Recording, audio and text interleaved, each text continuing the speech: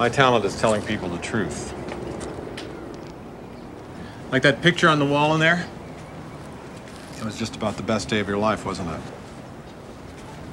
One of. Sure it was.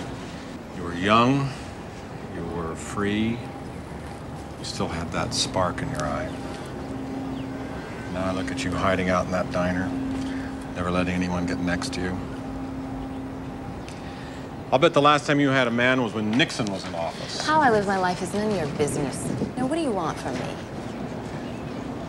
I just want to know how come you gave up.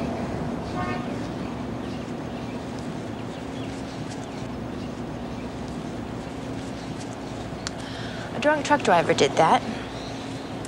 Four hours, stuck in a crash watching our mom and dad die. Doctors did all they could. Took tests, stuck him with needles a foot long, all for nothing. So he had me take him to a preacher. The preacher got him up on stage. And when it was all over, he was still on his crutches. Now, do you want to know what that man said to my little brother? He said that it was his fault because his faith wasn't strong enough. Well, let me tell you something. All that boy has is faith. So the last thing he needs is another phony messing with his head, okay? And the last thing I need is another snake oil salesman using my little brother to get me into bed.